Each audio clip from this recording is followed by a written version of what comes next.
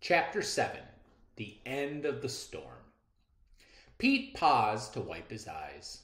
That story always made him cry. Made me cry, too. I wiped my eyes with my arm, and then I wiped my arm on my shirt. Go on, I urged. he took a deep breath to help himself continue. That day was miserable. That miserable Saturday was the saddest, longest day of my life. I couldn't eat, and I did my chores without even knowing I was doing them. I couldn't play cards after supper. I couldn't sleep. There was an emptiness in my room that matched the one inside me. The whole house seemed empty. The whole outdoors, the whole world.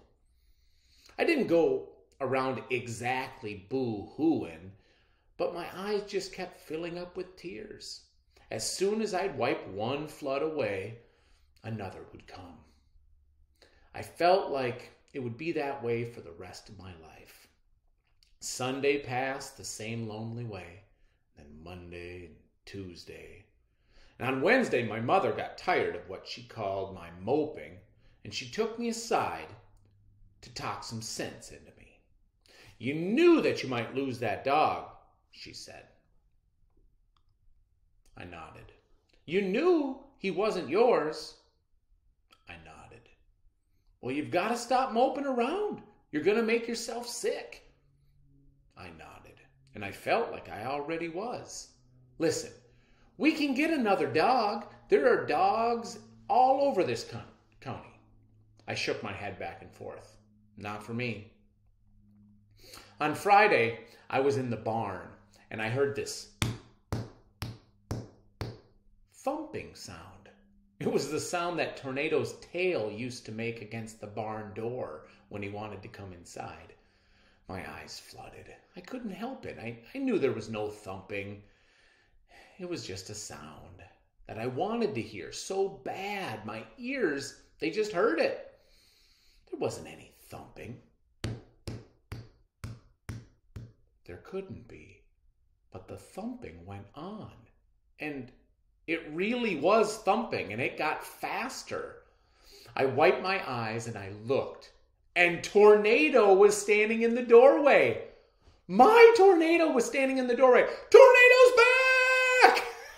I yelled, Tornado, good boy, good boy. And I threw my arms around him. He curved his body the way he did when he was pleased about something, and his tail wagged in my face. My daddy came to the door. Tornado's back! I told him. So I see. We don't have to take him back to those people, do we? I tightened my hold on Tornado's neck. Well, I don't rightly know how we could, my daddy said. That man wasn't polite enough to even give us his name. That's true. And if they do find us, well, the dog knows where we are, and he can come over for a visit anytime he wants to. Yeah, but I want him to stay. I do too, my daddy said. But if we have to share him with other folks, we'll do it. Half a tornado is better than none. Here's Tornado at the doorway. And my father laughed, and I laughed. There was a long pause in the cellar, and I asked, Did he say, did he stay, Pete? I like a good ending. For seven happy years, Pete said. And the people, they never came and got him, right?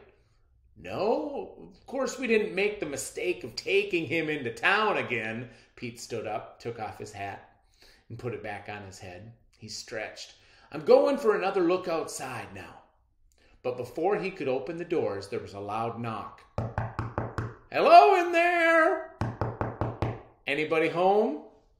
It was my father's voice. Storm's over, he cried, and we rushed out through the cellar doors and into the fresh air. My mother hugged my daddy. Oh, Link, I was worried. As soon as my grandmother got up the steps, she hugged him too. And then she gave him a stern look and said, Lincoln, I sure hope you had the good sense to get in a ditch. Look at me, Mama. Can't you tell? Don't anyone else hug me now. I'm too muddy to hug. My little brother hung back to speak to Pete. Could Tornado really, truly do a card trick? He could. And did you really, truly have a cat named 530? We did. My older brother said, I wish you had told the story about Tornado and the rooster. That's my favorite. Next time, Pete promised, and then he winked at me, if there is one. The end. These other books are also written by Betsy Byars, just in case you want another good story. Thanks for reading with me. Bye now.